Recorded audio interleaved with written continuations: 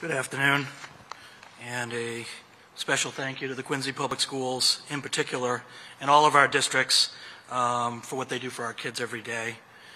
Knowing that this virus is not going to go away for a while, we have created protocols endorsed by the medical community uh, on how to safely return to school.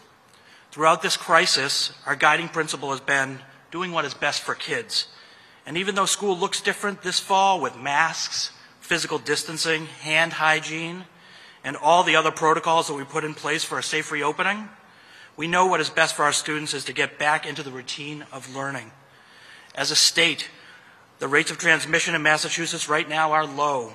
And according to the medical community, that means we can and indeed should bring our students back for in-person instruction safely. However, we rec also recognize that individual communities are experiencing different levels of transmission. That's why the administration began releasing a weekly report that provides an individual COVID-19 metric for each community of red, yellow, green, or gray.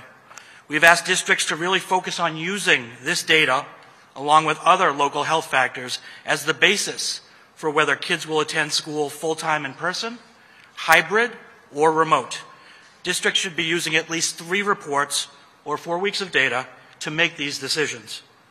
We know the possibility of a second spike exists, but while we are in a situation where a district has been green or gray for many weeks, we are asking districts to bring kids back to school in person or in a hybrid model.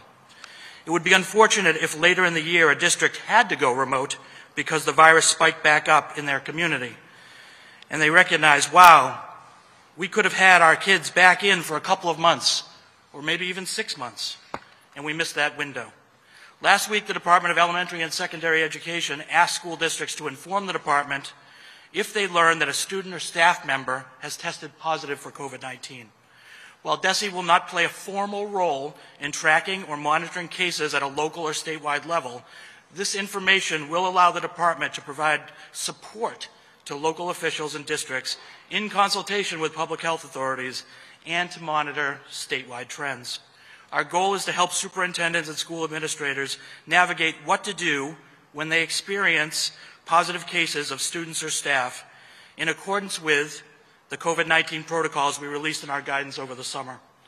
We have much work ahead this year to support our students during this extraordinarily challenging school year. But with schools back open this month, we have taken the critical first step. And I want to thank the thousands of teachers, school administrators, support staff, and families across the Commonwealth who are making that possible.